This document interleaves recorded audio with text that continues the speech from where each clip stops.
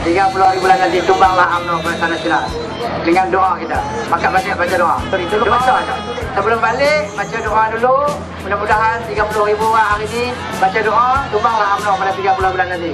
Tadi ada orang UMNO pun baca doa juga. Ha. ha. Maka baca doa yang kami tulis lah kat Luri. Tolong baca. Ha. ha, baca doa, insyaAllah.